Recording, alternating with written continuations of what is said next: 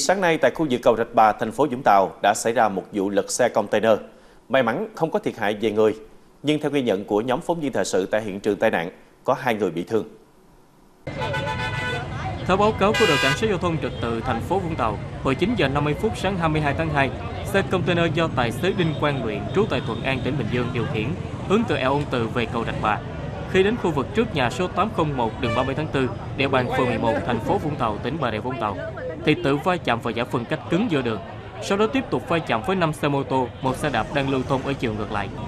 Ghi nhận tại hiện trường, có một nạn nhân bị gãy chân, một nạn nhân bị chấn thương đầu gối.